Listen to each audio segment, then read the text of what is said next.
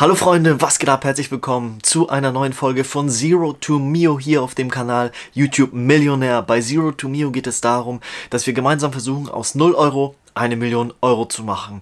Und in der heutigen Folge zeige ich euch, wie viel Geld wir bis hierhin gemacht haben. Das ist Folge Nummer 17 und in den 16 davor, Folgen, die davor waren, haben wir halt Summe X gemacht. Dazu komme ich gleich. Außerdem werde ich was zum aktuellen Börsencrash sagen. Die Aktien sind ja gerade richtig am runterrattern und was man tun sollte, beziehungsweise was ich in so einer Situation tue. Anschließend schauen wir uns an, wie viel Geld wir verdient haben bei Zero to Mio und zwar in der letzten Woche. Und anschließend kommen wir dazu, wie wir das Geld investieren werden, damit es sich von alleine vermehrt. In der letzten Folge Nummer 16 hatten wir 694 Euro bei Zero to Mio. Dieses Geld Geld haben wir in Kryptowährungen investiert und in einer Woche ist es auf 756 Euro gestiegen mit nichts tun. Außerdem hat unser Sparplan automatisch in die Tesla-Aktie investiert und zwar 50 Euro, die ist etwas gesunken.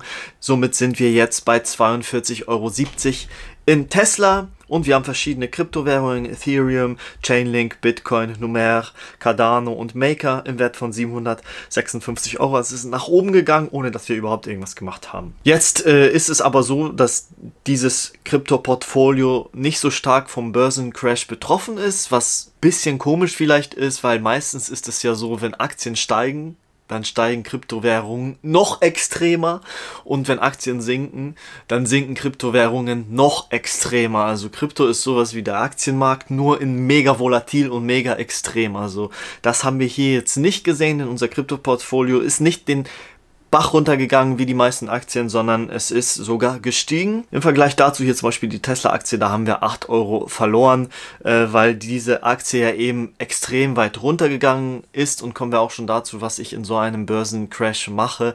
Natürlich, wenn man kein Geld hat, entweder halten oder wenn ich Geld hätte, hätte ich nachgekauft. Bei Zero to Mio hatten wir jetzt leider kein Geld zur Verfügung, um eine Tesla-Aktie nachzukaufen, sonst hätte ich das sofort gemacht, weil meiner Meinung nach ist es jetzt so weit, dass wenn man jetzt bei diesem Kurs von Tesla in die Aktie nicht investiert, mehr Risiko kann man gar nicht eingehen. Also ich finde, man verpasst übertrieben was, wenn man jetzt nicht investiert. Keine Investment-Tipps, nur meine Meinung. Deswegen habe ich mit meinem privatem Geld bei diesen extremen Down von der Tesla-Aktie alles eben rein investiert, weil ich glaube, dass sie nicht nur zu ihrem All-Time-High zurückgehen wird, sondern noch weit darüber hinaus. Also ich sehe das als extrem heftige Chance, diesen Crash jetzt, wenn man kein Geld hat, zu halten und wenn man Geld hat, natürlich nachzukaufen. Die meisten gehen damit viel zu viel Emotionen ran, äh, kriegen Panik und verkaufen und machen somit Verlust oder verschenken da mögliches Wachstumspotenzial. Beim Krypto-Portfolio äh, ist das Ganze gestiegen, da haben wir Glück gehabt. Natürlich kann es morgen oder nächste Woche auch schon wieder da auch den Bach runtergehen. Das weiß man ja nie. Deswegen investieren wir langfristig und nicht von heute auf morgen. Hier habe ich mir eine Excel-Tabelle bzw. Numbers-Tabelle, ich bin so ein Apple-Fan und ich bin ein Tabellen-Fan gemacht, damit wir sehen, wie viel wir mit welcher Kryptowährung verdient haben. Und wir haben hier kranke Renditen erzielt und das in gerade mal zwei Monaten. Am 7.1. habe ich zum ersten Mal Bitcoin gekauft. 100 Euro Einkaufswert, heute ist es 133 Euro wert, also 34% Rendite. In Ethereum 190 haben wir investiert, das Ganze bei Zero to Mio natürlich. 262 ist es jetzt wert, also fast 40% Rendite. Mit Chainlink 65% Rendite mit Numer 30% Rendite und Cardano und Maker haben wir erst vor einer Woche gekauft, deswegen da 2% plus, beziehungsweise mit Maker sogar fast 9% minus. Überhaupt gar kein Problem, einfach halten. Insgesamt haben wir in Kryptowährungen 562 Euro investiert und 756 Euro ist es jetzt wert. Das heißt, wir haben da 26,8% Rendite gemacht über einen Zeitraum von zwei Monate und das ist natürlich eine extrem kranke Rendite, richtig heftig und da beweist sich auch einfach nur, dass es sich umso mehr lohnt, je früher man kauft und je länger man hält. Und in der letzten Woche vom 1.3. bis zum 7.3. haben wir mit diesem YouTube-Kanal 44 Euro verdient, also quasi mit dem letzten Video, was ich gemacht habe, kam 44 Euro rum und ich mache das ja, ähm, wie ihr wisst, aktuell so, dass ich das Geld, was ich mit diesem Kanal verdiene, komplett investiere und euch jede Woche sage, wie ich das investieren werde. Und wie investieren wir diese 44,40 Euro? Natürlich würde ich das am liebsten in die Tesla-Aktie investieren, denn da sehe ich aktuell, wie gesagt, die größte Chance zu. Allein in einem Tag haben wir schon 9% plus und ich wollte das heute Morgen investieren, aber ich hatte kein Geld zur Verfügung, um eine ganze Tesla-Aktie zu kaufen. Deswegen müssen wir da leider warten, bis unser Sparplan automatisch kauft. Es kann aber auch sein, dass ich im Laufe diesen Monats, wenn die Tesla-Aktie nicht also weiter so, so ein bisschen struggelt, so unten bleibt, dass ich da den Sparplan erhöhen werde, vielleicht auf 100 Euro, sodass wir eine große Chance haben, unten einzukaufen, wenn die Aktie wieder explodiert, ähm, da wieder richtig viel Rendite zu erzielen.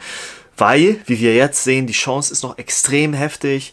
Im Vergleich zu drei Monaten haben wir immer noch das tiefste Tief, fast okay am Wochenende, beziehungsweise Freitag war es noch tiefer. Heute haben wir wie gesagt 9% plus, aber trotzdem ist die Aktie fast so niedrig wie in drei, wie die letzten drei Monate nicht und da sehe ich eine extreme Chance. Da wir aber nicht genug Geld haben zur Verfügung durch diesen YouTube-Kanal, sondern eben nur 44,40 Euro, werden wir eine neue Kryptowährung ins Boot holen und zwar habe ich die auch schon gekauft. Eben gerade habe ich einen Kauf getätigt. Jörn Finance, J YFI. Abzüglich der Gebühren waren es jetzt 42,72 Euro, die da angekommen sind. Das erhöht unseren Portfoliowert auf fast 800 Euro. Und Freunde, das ist mit ich glaube, fast schon der höchste Wert, den wir hier bei Zero to Mio hatten. Für die, die es am Anfang verfolgt haben. Am Anfang haben wir ein bisschen getradet und gezockt und sehr viel verloren. Aber jetzt mit dieser neuen Strategie wird es immer mehr. Und viele sagen, hey, du erreichst die Million ja nie. Du bist ja bei Folge 17 und hast erst 800 Euro. Aber Leute, ihr vergesst, dass durch den Zinseszinseffekt dieser Betrag immer schneller steigt. Also unser Portfolio wächst exponentiell. Und das ist das Geile. So immer ein bisschen reinstecken, warten und das wird von alleine mehr. Richtig, richtig geil. Wir begrüßen also Jörn Finance als neue Kryptowährung in unserem Zero to Mio Portfolio und steigen auf fast 800 Euro. Warum habe ich mich für Jörn Finance entschieden? Weil ich die All-Time Highs verglichen habe, wenn Bitcoin um ungefähr 10% wächst, ist es wieder beim All-Time High. Ethereum ist aktuell 14% unter dem All-Time High, Chainlink 17% unter dem All-Time High, Cardano 20%, Maker 31%, Binance, da hatte ich auch überlegt, das zu kaufen, Maker oder Binance 31% bis zum All-Time High, sehr coole Investmentmöglichkeit auch da, aber habe mich für Yearn Finance entschieden, weil die 34% unter dem All-Time High sind. Das All-Time High bei Yearn Finance war bei 43 1000 Euro, die sind aktuell bei 32.000, das entspricht ein Drop von 34 Prozent im Verhältnis zum Alltime High.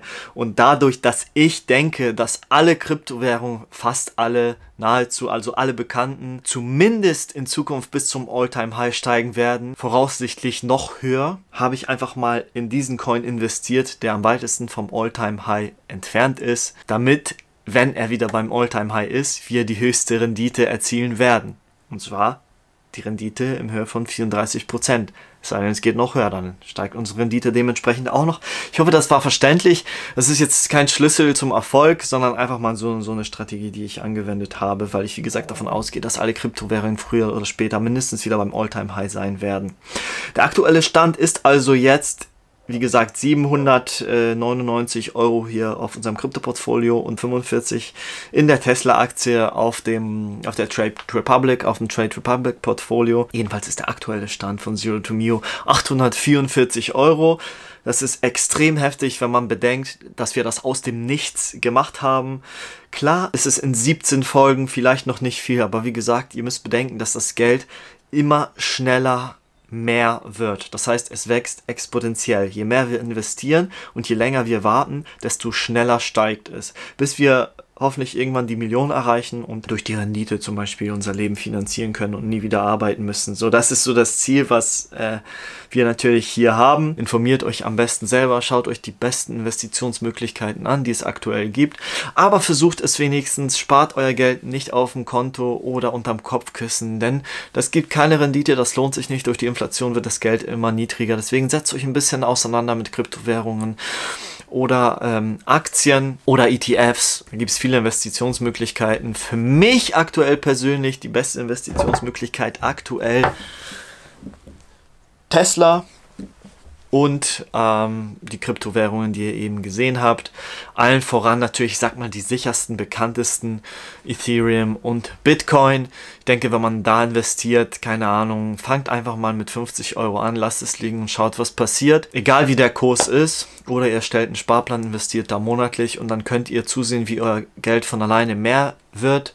Und so könnt ihr euch anfangen, da reinzufuchsen und damit auseinandersetzen. Ihr werdet schnell merken, ihr kriegt Bock, da immer mehr zu investieren und immer sparsamer zu leben, um irgendwann nicht den Beruf mehr ausüben zu müssen, der euch keinen Spaß macht, sondern irgendwann dazu zu wechseln, was euch halt Spaß macht und von der Rendite eures Portfolios vielleicht irgendwann mal leben zu können. Das würde ich euch vom Herzen wünschen, dass ihr im Leben das machen könnt, was euch Spaß macht. Zum Beispiel hier jetzt einfach mal so Videos drehen und darüber mein Geld verdienen, das investieren. Wie geil ist das denn? Das ist das krasseste, was es gibt. Das könnt ihr natürlich auch einfach so machen, wenn euch das Spaß macht. Einfach kopieren oder andere Sachen ausdenken. Informiert euch selber und dann könnt ihr entscheiden, wo ihr rein investiert, dass ihr vollkommen dahinter steht, nicht zittert, nicht emotional werdet und dass ihr nicht wie bei so einem Crash wie zum Beispiel, der aktuell am Start ist, da Panik bekommt und alles verkauft und Finger weglasst, sagt, weg von den Aktien, ich habe Verlust gemacht.